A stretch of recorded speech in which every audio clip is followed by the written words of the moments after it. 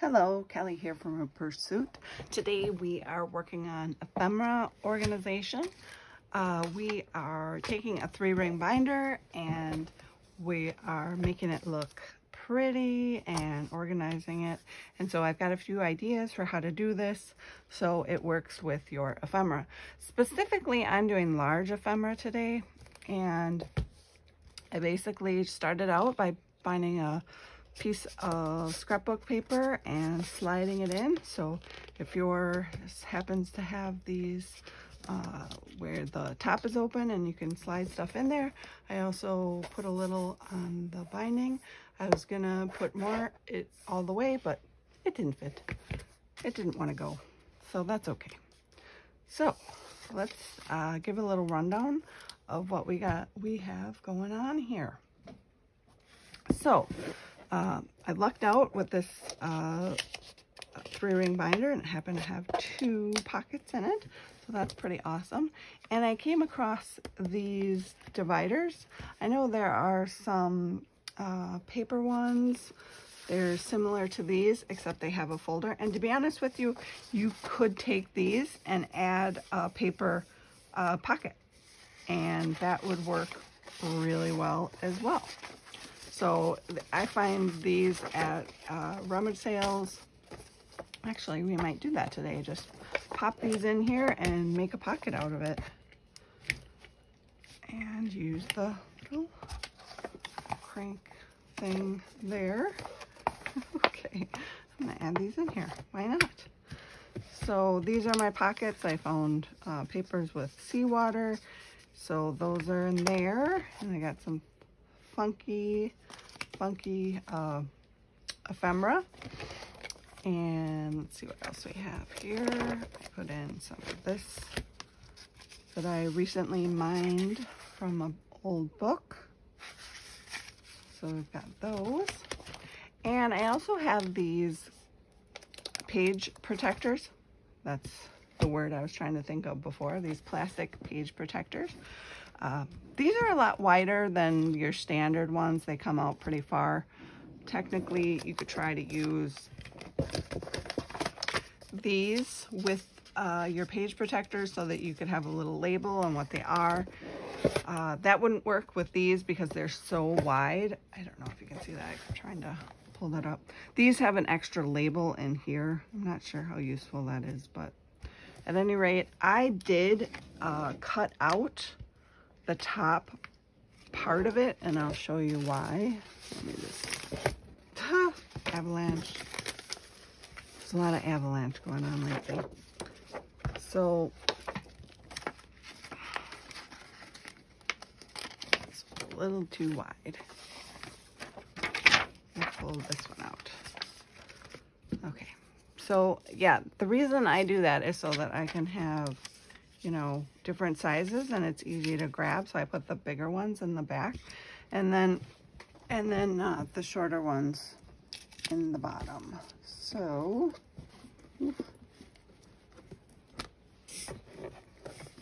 oh, my hand was under the mat. like, what am I doing?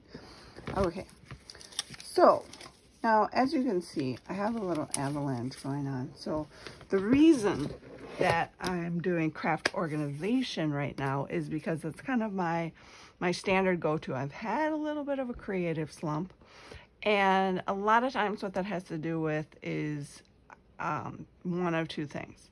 I've been doing a lot of left brain activities that is means that, you know, my my right brain has stagnated and I'm trying to do all left brain organization logical type things. And um, I, I did have a rummage sale last week, and so I was doing a ton of organizing and preparing for that. And then, of course, when you're taking money and adding things up a lot, that's also left brain activities. That's just my theory. That's that's kind of, but it works really well. It's a good system that I have working. And then the other reason, the second reason, that my creativity gets a little, uh, um, you know, down in the sort of wanes, that's the word I'm looking for, is uh, because my room, my craft room, it gets messy and I just get overwhelmed with it. So my craft room is messy right now. So I think those two things probably contributed to it. So in order to counteract that, I'll do either, I, I'll sometimes go, if it's the craft room messiness that's the issue, then I decided to just use that left brain logic to clean and order, make some order out of my mess and get it back to, you know, how it should be. And my goal is in three weeks to totally uh, clean up the craft room and then do another craft room tour. I'd like to do that every six months. Plus I'm, I'm always rearranging and coming up with new storage methods to, to kind of make things work a little bit better. So there's that.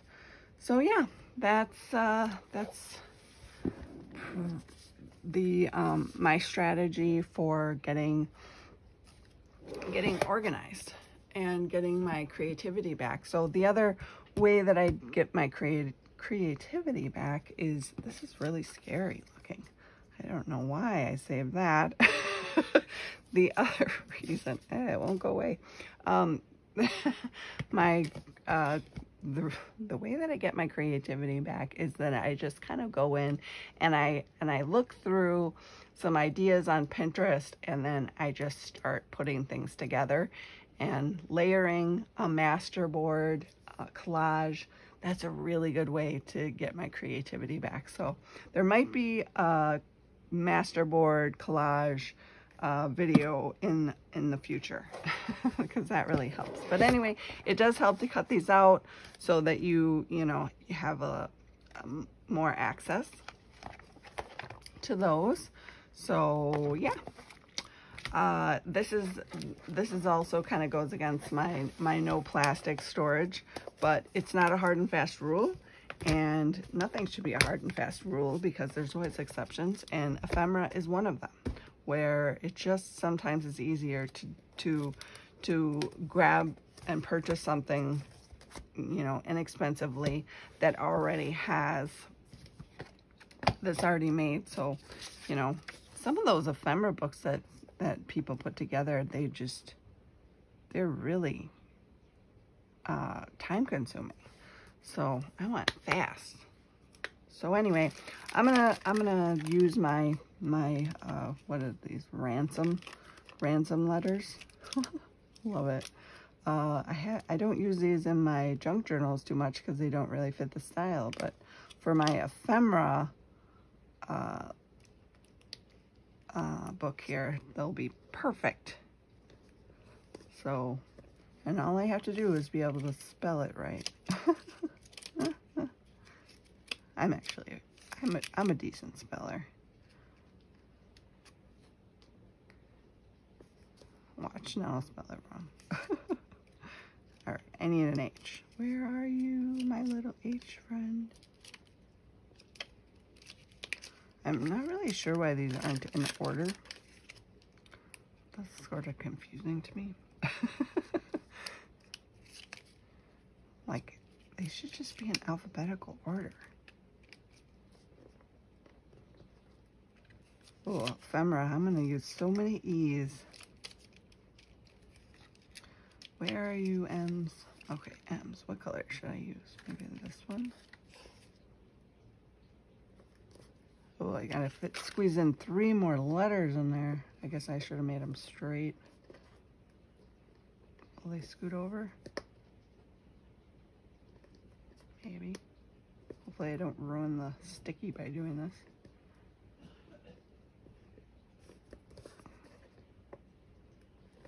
All right, E's. Mm-hmm. E, E, E, maybe some black one. And I need an R. I don't know if they just didn't intend to put these in alphabetical order. I'm a little confused about why they would do that. Also confusing. Okay, now an A. A, A, A. Going with blue. Blue. Oh my goodness. Just off. I just can't handle that. We're moving all these over. and also putting real glue down. Use my the Fabrifix, my favorite favorite glue. And then you'll never come up. You'll stay exactly where you're supposed to.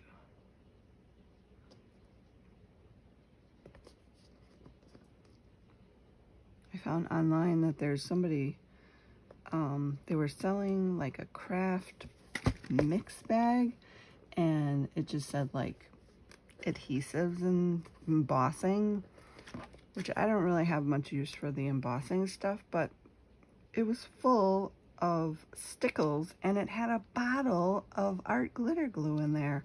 I was like, ooh, so it's on Facebook Marketplace. So I'm to see if I can snag it. Now it looks like they're too much over. Ay, ay, ay.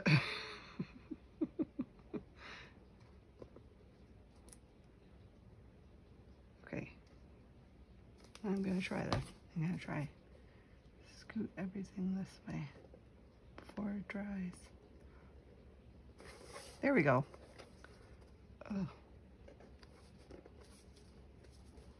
Good grief. Stay down. There. All right. Doesn't look that great. It looks kind of cute. It's it's kind of cute. Now how am I going to stick it to the to the plastic? And I lost my cap. This is this is this room. It definitely needs to be cleaned. There, I found it. Oh, my cap. I know why they made it red. Still doesn't help me all the time. Still. Okay, so this is the little binder ephemera organizer. Uh, I hope you like it. I appreciate that you came along today. If you like my videos, uh, go ahead and like and subscribe. That's That'll be awesome. And yeah, thanks for coming along and I'll talk to you later.